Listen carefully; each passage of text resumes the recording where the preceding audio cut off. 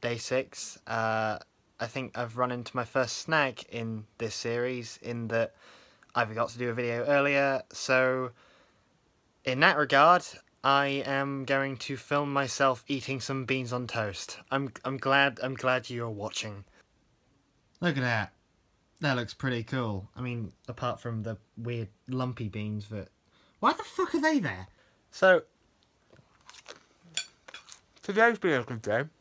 Izzy and I hung out again today. I didn't want to record her two days in a row because it'd be a bit unfair on her due to the fact that she's not really a filmmaker. But, you know. We went round to our mate's house, Lucy, who uh, coincidentally is the person who also set us up. She's aces, Lucy. Like the, uh, the, the advice that she gave me when I uh, broke up with my last girlfriend, which was about two years ago, uh, was that I should just just have a wank, you know, as if it's as simple as that. Looks like some of the beans are bloody infected. Look at that. So my plans for tomorrow are to spend the morning with my little sister, whose birthday it is. I'm not going to record that bit because obviously she's too young to be on this.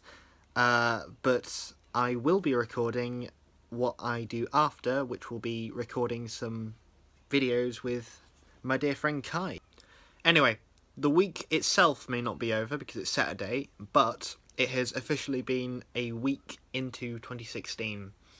And in my first week of it, I'm pretty proud of what I've achieved, to be honest. I realised I wasn't doing as shit as I thought I was at college, got myself a girlfriend, and I got myself some beans on toast. So to close out these first seven days, I will eat this bread and bid thee adieu. 嗯啊。嗯。